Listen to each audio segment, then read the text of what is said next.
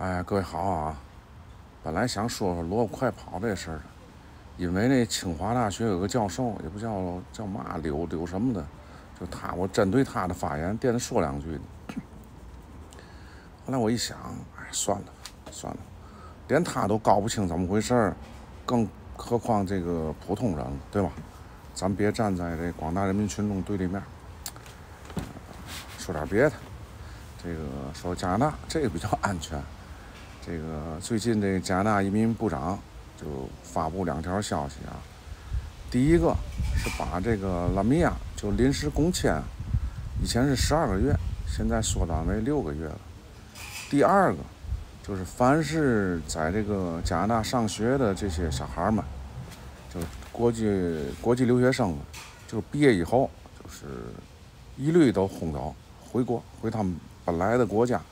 然后再重新申请加拿大的身份，这个不用问呐，肯定是针对这印度主义的。就虽然他没说，但是也是针对印度主义的，因为印度主义的学生太多，太多。咱听听这个他是怎么说的。We have some things to work out when it comes to international students uh, and the issuance of postgraduate work permits.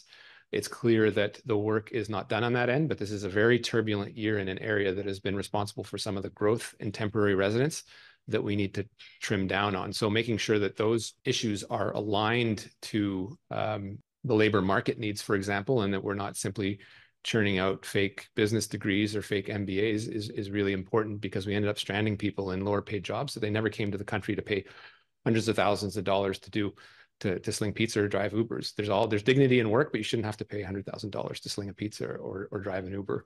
So that's you know one of the realities that we face. Better data on labor markets. 听见了吗？听见他怎么说的吗？就是他不希望啊，就是就是你从其他国家花了很多钱来，花十好几万加币，然后你到了加拿大，到这边来开五波啊，然后是做披萨呀，就他不希望你到加拿大来做这些工作。 等于浪费你自己的才能，就也浪费加拿大的这个福利。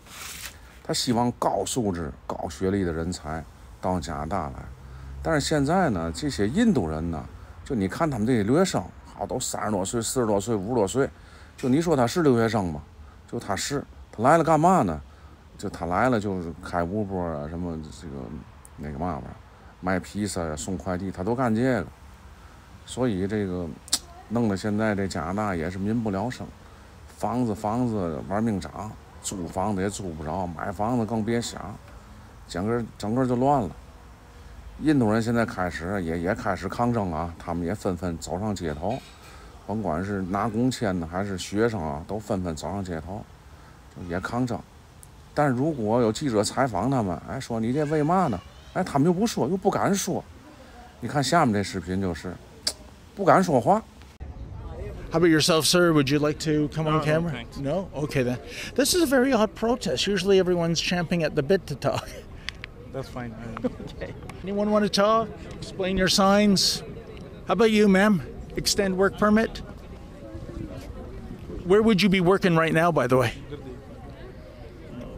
Would you like to talk about what no, this? I'm good, thank no? you. 反正加拿大这波运动肯定是针对这印度主义的，看吧。 明年大选，这个这个自由党肯定是滚蛋了。这个看看保守党上台怎么办吧。保守党的政策肯定是这个这个以加拿大人为中心。